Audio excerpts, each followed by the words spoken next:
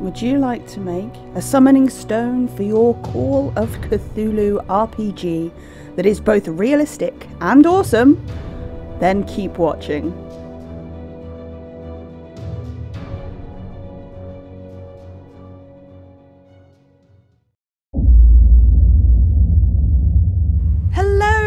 It's Michelle, your miniature misfit, and today we're going to craft ourselves our very own Call of Cthulhu summoning stone from rubbish. Hooray! First of all, you'll need some thin cardboard. Anything'll do. I'm using a cat food box. Why not? Please leave a comment below if you've used a cat food box to make a craft. Just type in meow. We'll need a 3x3 square, so take your time, use a knife, take it steady. We're going to need a few of these, so make sure you have enough cardboard to make at least four of them.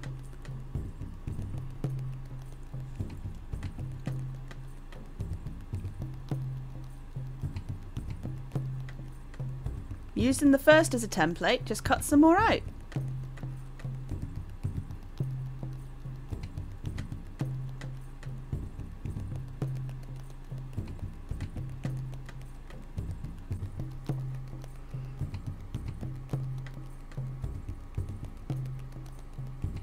Gluing them together is a little bit of a science. So what you need to do is look for the corrugation and when you put them together make sure the corrugation is opposite. So if the base one is horizontal the next one will be a vertical. This will give it extra strength and make it very solid.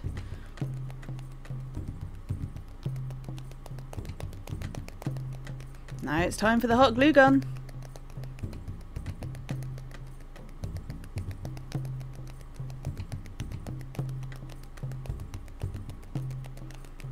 Give it a firm press, make sure it's nicely squidged all together. Just check for edge strength. Now you'll need to draw out your stone shape. You'll be using a knife to cut this, so an outline is a good idea. If you're unsure of what it should look like, or you're a little unconfident, that's okay. Just pop on Google and get yourself an image. Take care with the knife. Again, you're cutting through four layers of cardboard and there's hot glue in the middle of this. It's going to be difficult. Take your time, cut away from you. There, that way, if the knife slips, you're not going to hurt yourself.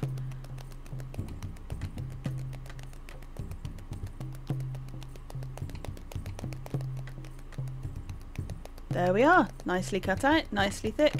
Kinda looks like a stone. I'm going to chip away using the knife, again cutting it away from myself. So to make it look more like a rough sort of stone. As I was doing this, this piece of cardboard started to look like slate to me. So I decided to go with that kind of idea. Time for the gesso. This is a brush on primer. It's a very good primer. I would highly recommend getting some gesso if you can. Uh, paint goes on it really well. It is it is designed for acrylic paints. So we're just going to brush this all over. It will make it a uniform colour. It will also make it really strong and it will protect the cardboard to a degree from any kind of wet damage from when we do paint it. We will be priming again later but this step is quite important, so make sure you don't miss this one. After it's dry, you'll take some more cardboard, just a bit of scrap, and we're going to build the stone up with some more layers.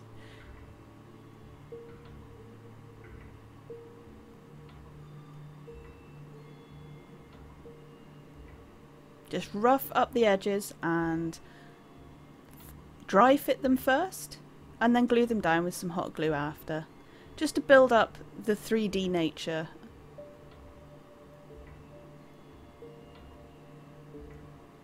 Once that's all hardened up and dried you'll be covering it again in another layer of primer. You could use a spray primer if you wanted to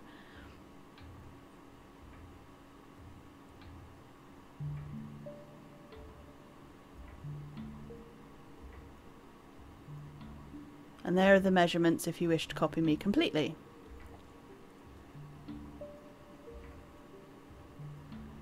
More primer. You can never have enough primer.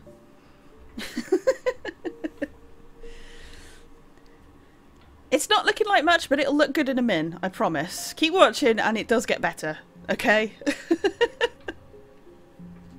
so I'm just evening out the bottom. If you don't have a pair of fancy scissors like I've got, you don't need them. Uh, I just have them left over from a Christmas present a long time ago. Like I, like you can tell, you can use a knife if you want to. It's fine. Just take it steady. Now we're going to draw Cthulhu. I have drawn this freehand. If you are not confident in doing this or you think your drawing skills suck or whatever, it's okay. If you want to pop onto Google and find yourself an image to print off, no one's going to stop you. That's absolutely fine. I can freehand. If you can't, don't worry. That's what Google's for.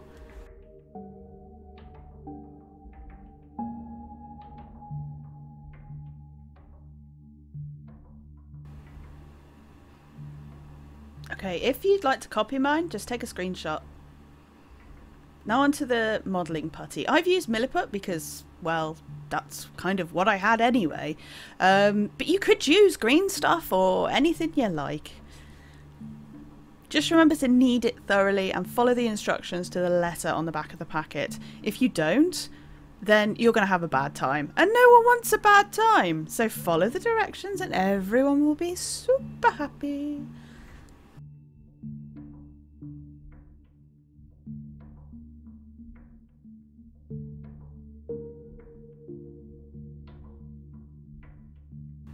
Right, so now the milliput is sticky and it will stick to the cardboard. You don't need to use anything extra like super glue or anything like that. It is very strong. And using the gesso, the gesso has like a tooth to it, like a almost like a texture, which the milliput will grip to really, really well. So use the gesso and the milliput will stick like crazy. You won't need glue, I promise. So just roll some strands out for his tentacles.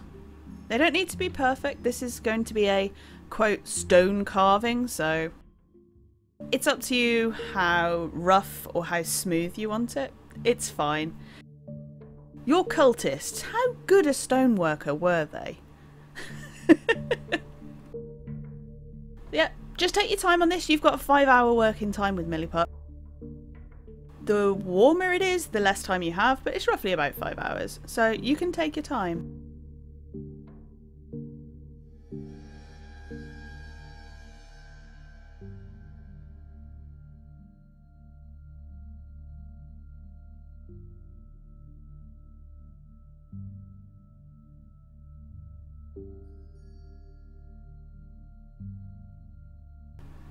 So use whatever you have. I have a pencil and that's what I'm using. If you have a cocktail stick, use a cocktail stick. If you have nothing, use your finger. If you don't have a finger, use your nose. It doesn't matter. Just anything can be a tool. Also, Milliput works really well with water, so use the water. It will smooth it instead of buying expensive, fancy rubber tools, why not make your own? Get cheap pencils and cut them up with scissors and craft knives. Works just as well. And then later on, if you really want to, yeah, fork out, get some good ones, but you don't need them.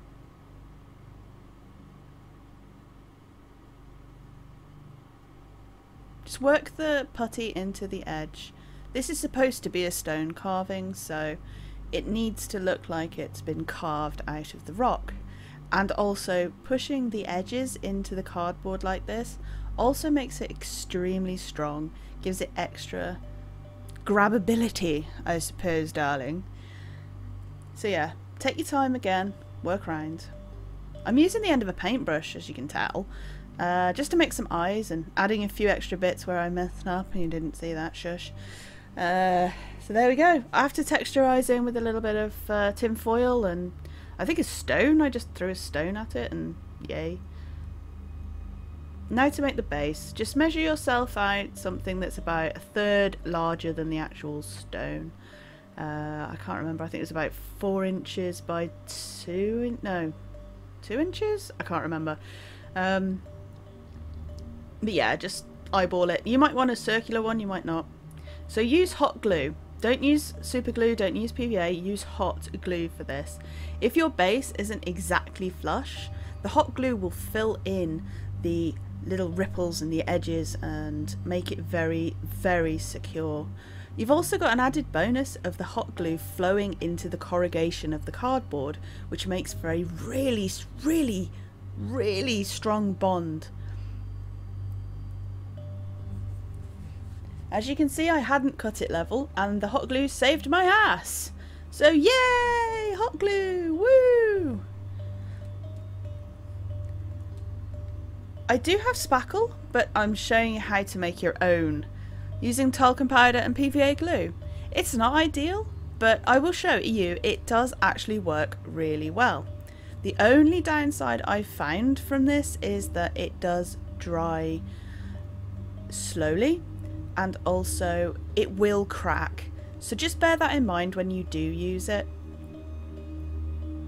But as you can see it goes on really well and you can get some very interesting textures from it. I'm going to cover the whole base and just rough it up as I go to kind of give it a rocky beach stony sand type texture. It's not smooth and it's not rough so a rocky beach sand thing. You know what I mean? It's fine. so we just need to leave it to dry. It'll take probably about 12 hours. I left it overnight in a warm place and as you can see it cracked but that's part and parcel. If you do have spackle or filler or whatever you want to call it, polyfiller, you can use that too. That's absolutely fine. It does shrink when it dries but it doesn't tend to crack as much. Also, it's a bit more dusty. So I'm just going round, I'm filling in this tiny corrugation pieces, and now we're going to cover the bottom with some glue, just straight PVA, and we're going to add some stones. I'll do a video on how to get this at some point, so keep an eye out for that. Let me know below if you've used sand to get stones before. As you're putting this down, think about your cultists think about how they may worship Cthulhu at this summoning stone and how the landscape may have weathered over time as they've walked up to it. Cover the whole thing in a solution of 50% glue, 50% water mixed up. That will make it rock solid. I've just taken some dry sand, my paintbrush, and as you can see I'm just adding more texture to the rock. I'm thinking seaside, so this sand is going to look like the rock's possibly been underwater a few times and it's got some sand in its cracks. That's the worst part about going to the seaside. Anyway, covering it in black gesso this time. There you go. Front and back. There we are. Covered completely in black gesso. This at this point is solid. I'm using a blue-grey. It's a slate colour really and I'm covering at about 90% coverage. Just using a sponge to make sure I keep the texture and don't go too deep into the pockets. The next colour I'm using is like a taupey brown, almost a fawn colour, but not as light. Again, just dry brushy sponging it type of thing. Uh, thinking zenithal highlight, so all the surfaces that are pointing upwards are getting a dab of this.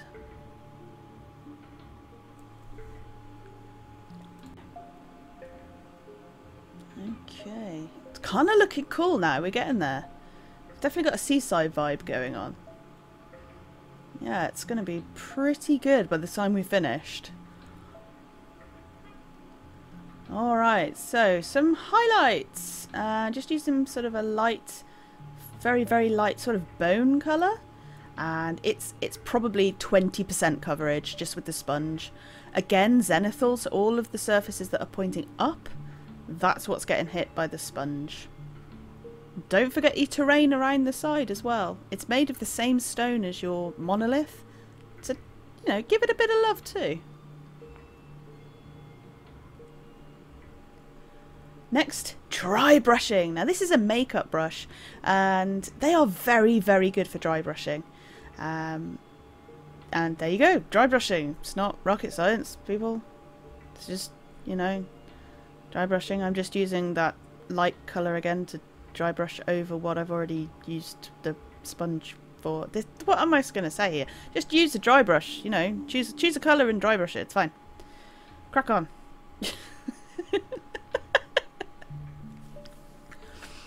Ta-da! That is looking amazing. I love dry brushing, it looks so cool. Look how cool that looks. It's starting to really look like stone. It's really good.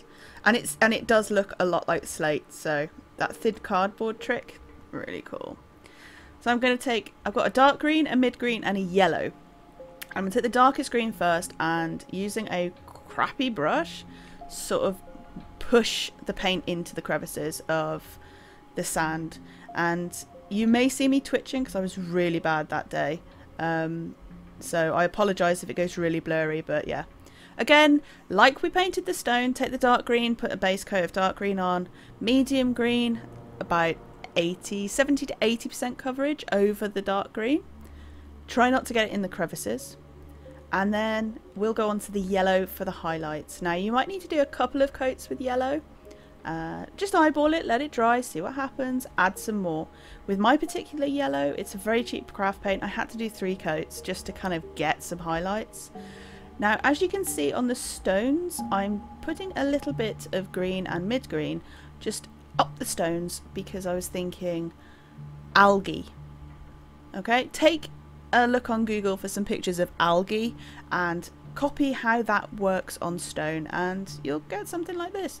The trick is basically just to put some dark green and then light green and we don't go yellow on that. Algae is quite a matte colour on stones. Dun dun, Cthulhu is coming. So we've got a little offering plate. That I didn't video because I was an idiot. Um, that was a sequin and the little things inside are just some dried quinoa. I'm using one of my favourite blacks. It's by Golden. It's kind of shiny, but it's so dark. It's amazing. And I'm just painting the little offering plate. It was a, it was an idea. I saw a sequin on my desk. I thought, oh, that'd be cool. So yeah, just use a sequin. If you don't have one, you don't have to add it. My black wash, I think I showed you in video two. Um, everything just gets covered in black. Yeah, just cover it in a nice black wash. Let it dry thoroughly. So if you want to leave it overnight, even better but let it dry thoroughly. I want to make things glossy. I figured the offering plate might have some sort of meat in there, which would be kind of rotting perhaps. So cover things with gloss. And now I'm dry brushing again. And this is actually white, but it's a very light dry brush. And it's just to add some dust. Using the gloss medium, I'm making the stones look wet and kind of slimy. Just yourself, put it where you think it needs to go. Now for the eyes. Cthulhu tends to be double pupilled, so I needed two eyes in each socket. Using super glue, which is amazing, I have some tiny, tiny little gems for nail art. As you can probably tell, I don't do anything with my nails, so these things are fantastic. You can pick them up really cheap at the dollar store or the pound shop, wherever you are, you can pick these up and they're great. And they're super effective. Using a black here, I've wet it down so it's almost an ink texture and I'm just putting some weathering and that's easy enough to do, just wet it down make it very very very light and draw the brush from where you think water would drip.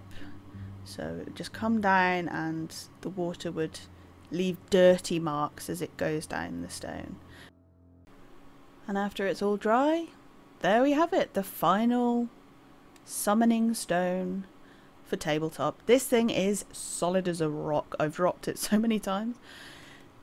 Please let me know in the comments below if you got to the end of this video, because this is a long one. So good for you.